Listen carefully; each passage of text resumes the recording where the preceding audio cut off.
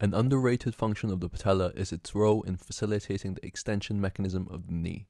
To understand extension, we must go through some basic physics to learn about levers. Levers rotate due to an imposed turning force, which is called a moment.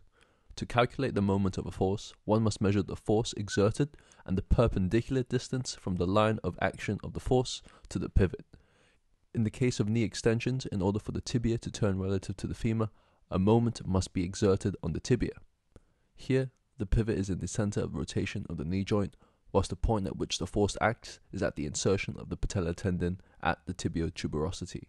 Let's first imagine a scenario where the patella doesn't exist and the quadriceps tendon inserts directly at the tibial tuberosity. When a tensile force is exerted by the contraction of the quadriceps, the orientation of this force means that the perpendicular distance between its line of action and the center of rotation is very small. Looking back at the equation for a moment, the short perpendicular distance would mean that a very large force would be required to extend the knee.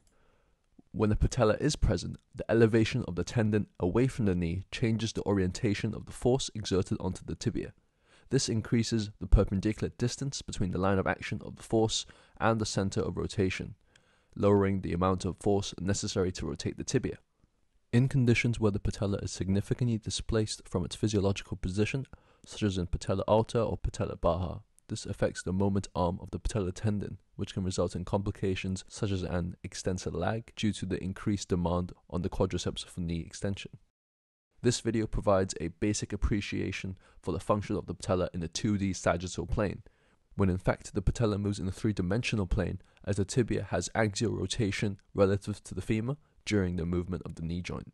Also note that the position of the patella and the site of the axis of rotation varies through different ranges of knee flexion or extension.